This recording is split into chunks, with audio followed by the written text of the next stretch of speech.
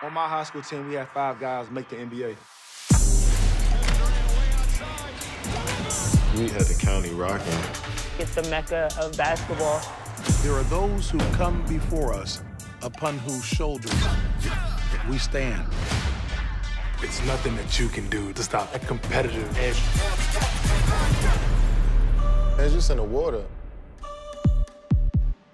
Let's uh, jump back to college, man, because you had a motherfucking legendary career, legendary teammates, legendary coach. Tell me what that experience was like, because Jack went straight to the league, but I went to UCLA, and it was the best time Yeah, of my, life. my life. dumb And- ass, and- my dumb Nah, ass. you want to, you want a dumbass. You do what you gotta do. but like, Nah, Joe, you know I'm gonna keep it real with you. I couldn't pass that damn test, bro. I couldn't pass that Uh, you ain't telling me nothing. I don't know. I know a lot of people that go overseas for that. They ain't tripping. right? but um, like one thing I would say though, Jack, is if you ever had the opportunity, bro, you that would have been your best time ever, man. Oh, like, man. like Tell for him. me, I Tell knew I was going for eight months. You know what I mean? But like, I'm like, yo, I'm here to win a championship. I don't win it, cool. But I'm gonna have this most fun ever. And to being able to go to class or get up and grind every day, man, like we had, bro. When I tell you, Coach Cal was one of the crazy coaches. After like two weeks, I said, yo, I think I picked the wrong school. I want to transfer. I called my mom. she was like, she was like, boy, you staying? Cause like, listen, every morning we had to be on the suicide line. We had 20 suicides in 20 minutes at 6 a.m. every day for summer school. So like our first 10 suicides was like the basic one, uh, free throw line, bang, bang, bang. Then the last 10 was baseline, baseline, other free throw line, like, and I'm like, yo, did I pick Oh, the right no. school? Like, this is not basketball. That's And crazy. then I tell you one, yeah, type thing. So I tell you one of the funniest stories is we run the suicide. We got like four left, and like the guards had to finish like 28 bigs, had to finish like 35. Demarcus' feet caught on fire. Like so he stopped running. Like, like he really he he mid suicide. He mid suicide.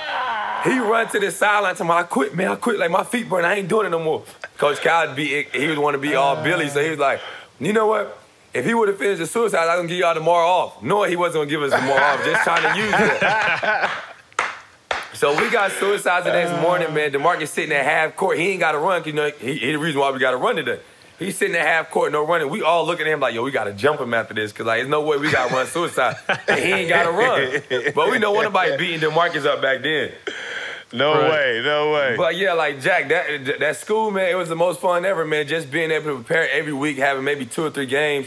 And the most fun with me was going on the road. Like All right. you don't brothers. get that you don't get that atmosphere and that that culture they brought with talking trash and it's just you and your your 14 guys. And you going Yeah. out there to go to battle and go to war and it's like you gotta win or survive out here. Ain't nobody on your side. You know Kentucky fans travel, but it feel like Hell yeah.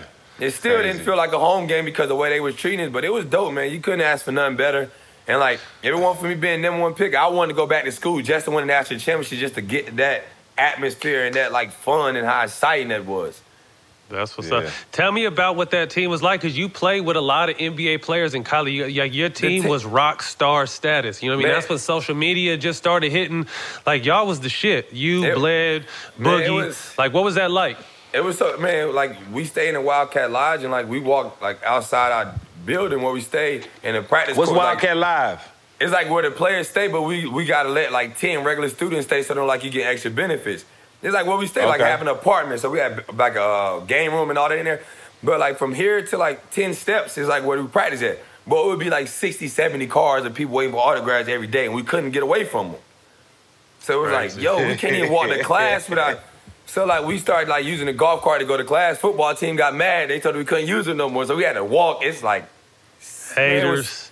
so cold. We walking backwards to class. But what was so fun about that year was, you know, nobody like the returning players that came, like Patrick Patterson and Ramon Harris and Darius Miller. None of these guys never played for Cal. So like the freshmen and the, and the upperclassmen, it's all something new for all of us. So like they didn't know what Coach Cal was looking for. We didn't know what Coach Cal was looking for. So we all had to bond and come together. But we did everything Yeah. together, bro. We went bowling together, out to eat together. Like we treated it like you do as a league team that has great camaraderie and, and one of those good teams because they hang out together Nigga, so that was a league team. Yeah, so that's I was what just about felt to like. say, nigga, y'all had eight, 18 pros on your team. But you know, like we had all the other guys that kind of like, you know, like if you got like me, Pat, Demarcus, E. Bled, like we know we about to go.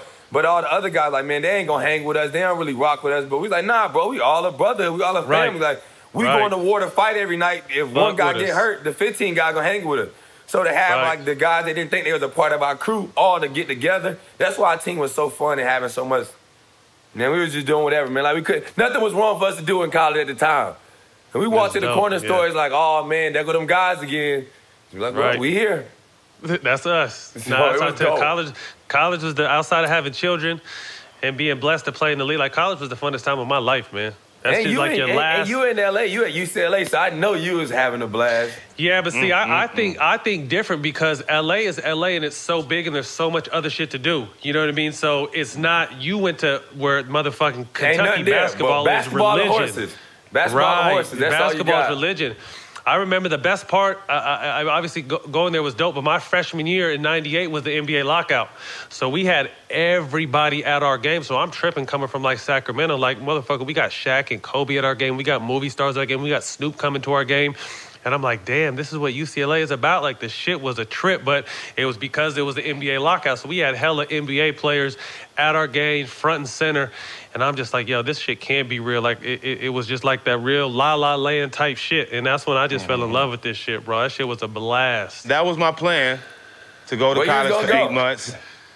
I had we had the number one recruiting class that year at Arizona. Me, Mike Bibby, and uh, Eugene Edgerson. We had the number one Oh, recruiting you in class that that, class? year. Okay, yeah, yeah, yeah. I was loaded. Yeah, I remember that class. Yeah. And we already had Michael Dickerson, uh, Miles Simon. We had our, Yeah. all, all them guys already. So we was going, and they ended up winning the national championship. So it Yeah, worked out been how it was supposed to work out. My you ass just just, wouldn't own could stay. I couldn't stay out the club. Test was at eight. I'm leaving the club at five thirty. That that wasn't gonna work. I ain't gonna lie, man. First time I took that test, man, I fell asleep. I was like, man, I don't need this to pass. they come back and say, all right, I'm gonna tell you one thing. You go, you gonna be figuring something else out. I said, all right, now I gotta lock in. I brought me a snack the second time. First time I ain't bring no snack, no calculator. I'm like, I got this. You know what I mean? Spelling names wrong, doing all that. You better get this right or you gonna be hurting. Yeah, exactly.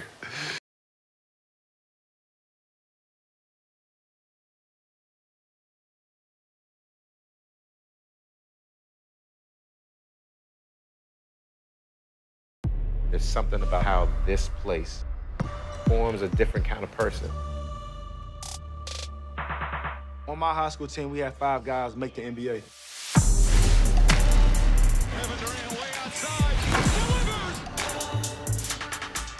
We had the county rocking. You mentioned Prince George's County. People know what it's about. It's the mecca of basketball. There are those who come before us upon whose shoulders we stand. Being from this area, you have to have tough skin. the gym became his sanctuary. PG County guy. Provide buckets for America. Prince George packs a lot of power, a lot of character. It's nothing that you can do to stop that competitive edge. We're pushing the community and the culture forward. It's just in the water.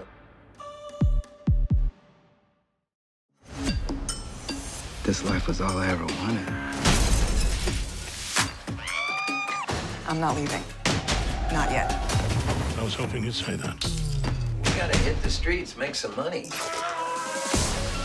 People like us must destroy Up.